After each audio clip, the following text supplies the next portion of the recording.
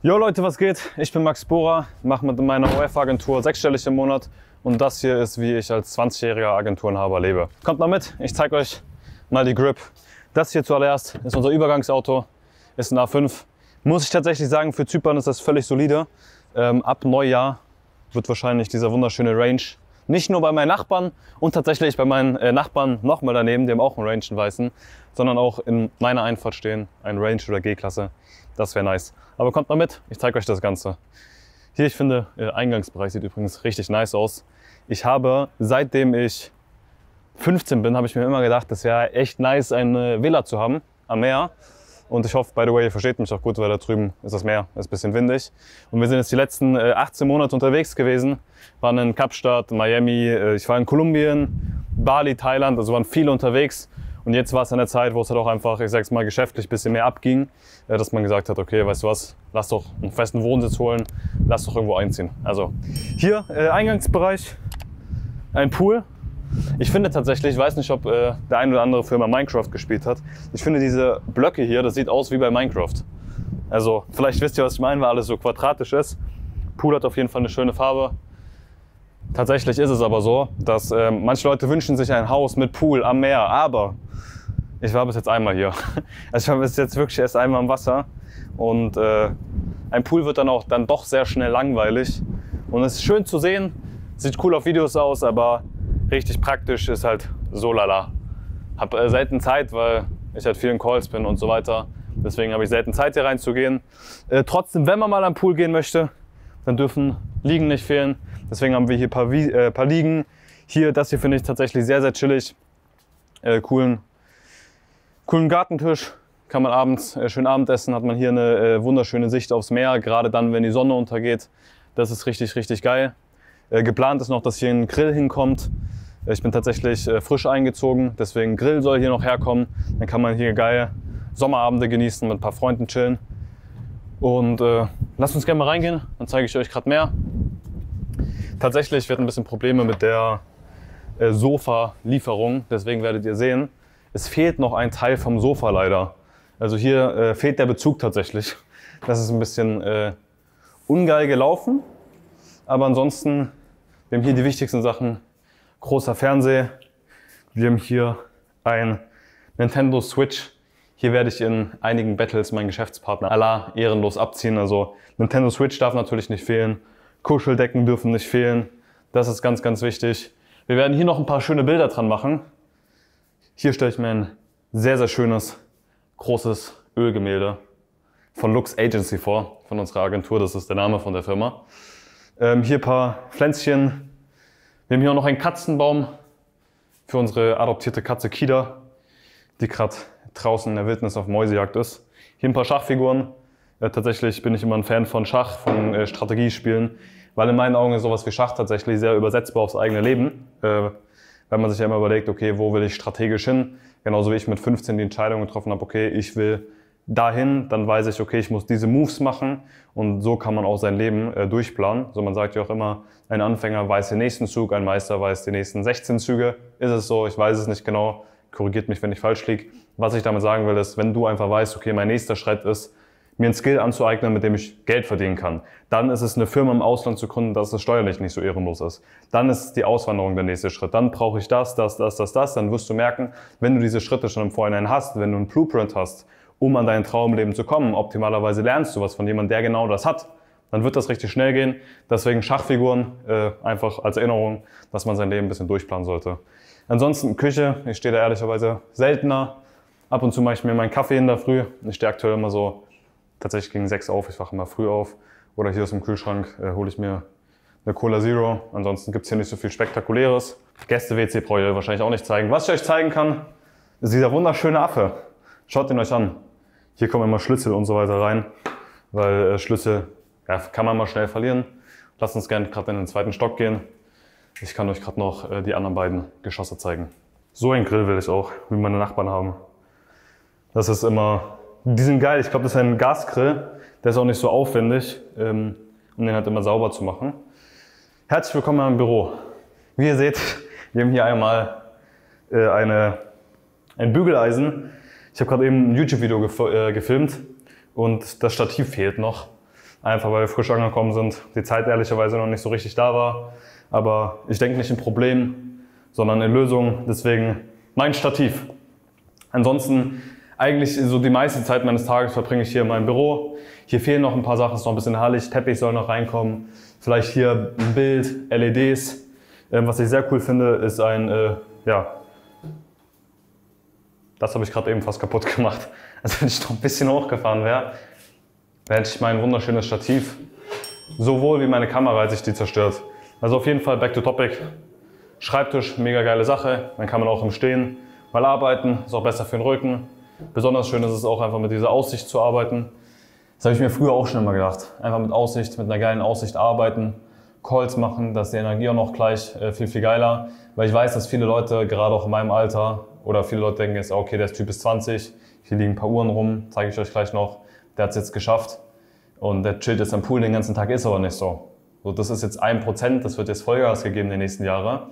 Ähm, und auch wenn Pool da ist, auch wenn es gerade sonnig ist, ich glaube, wir haben jetzt gerade 30 Grad, Anfang Oktober lässt sich aushalten. Ähm, ist, die meiste Zeit verbringe ich hier und bin halt am Arbeiten und verfolge halt meine Ziele. Jetzt, wenn die Uhren schon hier liegen, kurze, kurze Uhrensammlung. Ich habe mir ein paar geholt. Die hier habe ich mir, das ist eine Cartier Santos, die habe ich mir in Kolumbien geholt vor einem halben Jahr oder so. Das war meine zweite Uhr. Das hier war meine erste Uhr tatsächlich. Eine Datejust. Schönes blaues Dial. Ich glaube, da sieht man in der Sonne, kann man das noch ein bisschen besser sehen. Wunderschönes Blau. Trage ich tatsächlich immer noch gerne, ist eine coole Alltagsuhr. Was haben wir noch da? Wir haben hier eine GMT. Die sieht in meinen Augen sehr schön aus, so in der Sonne. Das glitzert und funkelt richtig schön. Ähm, absoluter Geheimtipp für alle Leute, die Uhren tragen.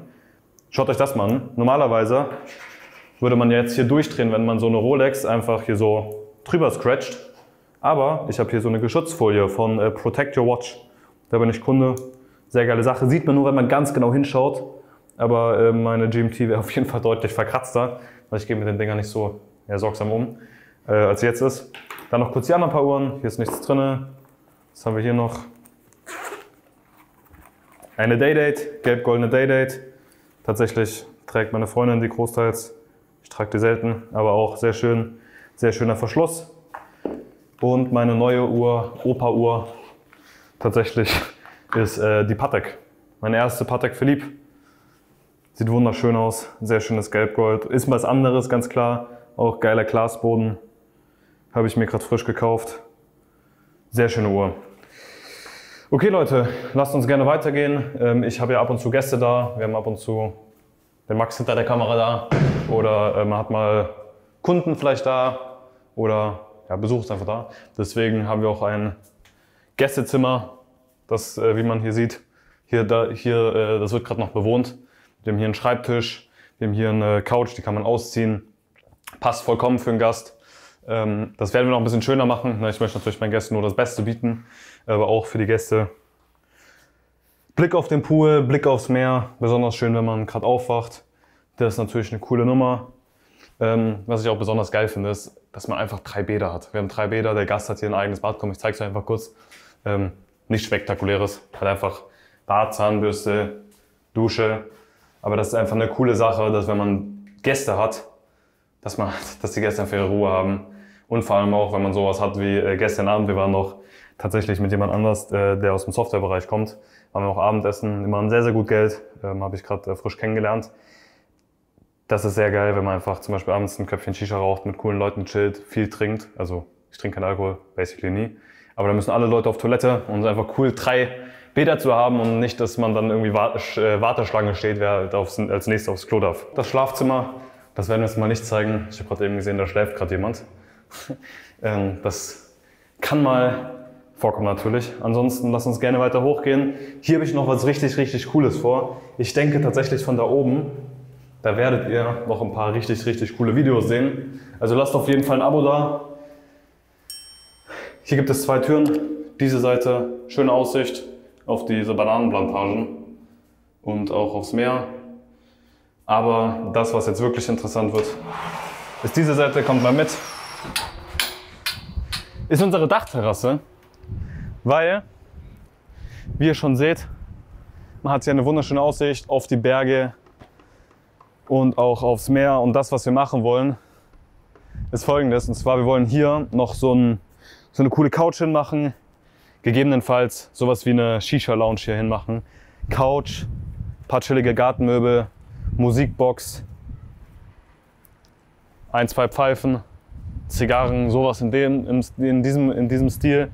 Dann kann man hier einfach diesen Sonnenuntergang genießen mit, wunderschöner, mit wunderschönem Blick aufs Meer, auf die Berge, einfach ein paar gute Gespräche haben, eine gute Zeit haben, weil auch bei all dem Geld, das wir machen und was wir verdienen, das Wichtigste und das, was äh, immer noch das Geilste ist, einfach mit seinen Jungs da zu sitzen, ein bisschen lachen, über Geschäfte reden, eine gute Zeit haben und da ist halt einfach dieses, dieser Platz hier oben perfekt. Das wird noch schön gemacht.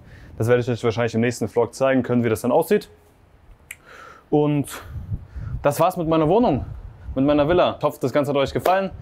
Vielleicht hat es euch einen äh, Motivationsschub gegeben. Deswegen auch, wenn ihr junge Leute seid, ich bin selber erst 20, gebt Gas, lasst euch nicht erzählen, dass sowas irgendwie erst mit 40 machbar ist. Das kann man mit 20 machen, easy. Das ist einfach ein paar Jahre aufs Gas geben, ein Businessmodell haben, was Sinn macht, was funktioniert. Und dann kann man sich sowas ermöglichen. Wir haben Klienten, tatsächlich aus unserem Mentoring-Programm. Sheriff heißt er, 20 Jahre alt, der ist jetzt auch nach Zypern gezogen, auch gerade hierher. Wir haben einige Leute, die kommen gerade hierher, holen sich coole Wohnungen. Also hab das vor Augen, es ist möglich, auch wenn du ein junger Kerl bist, du brauchst eine vernünftige Anleitung, du brauchst jemanden, wo du einfach weißt, dem kann ich vertrauen, der hat das, was ich will und der kann mir das zeigen, dann setz das um und dann kann auch sowas in ein paar Jahren deine Realität sein. Und Sheriff zum Beispiel ist nicht der Einzige. Ne, der hat in ein paar Wochen hat er die 20.000 gemacht, wir werden das Video hier auch äh, einmal einblenden, kannst du dir gerne anschauen. Ich würde dir grundsätzlich empfehlen, schau dir das alles an. Ne? Du musst mir jetzt nicht irgendwie blind glauben, sondern schau dich auf unserem YouTube-Kanal um. Da erfährst du genau, wie ich mein Geld verdiene mit der Agentur. Da erfährst du genau, wie unsere Coaching-Klienten Geld verdienen. Wir mehrere Leute, die machen fünfstellig im Monat, auch in ihren 20ern, also einfach in einem jungen Alter, machen die sehr, sehr viel Geld. Deswegen schau dir das alles einmal alles an. Wenn du sagst, okay, du hast Bock auf einen konkreten roten Faden, du möchtest wissen, wie ich mir das hier alles ermöglicht habe, dann kannst du auch äh, gerne ein Abo dalassen oder direkt auf den Link unter dem Video klicken, dich zum Erstgespräch eintragen und dann können wir uns mal unterhalten und gucken, wie wir dir dabei unter die Arme greifen, deine äh, Traumvilla zu vermöglichen mit einem Online-Business.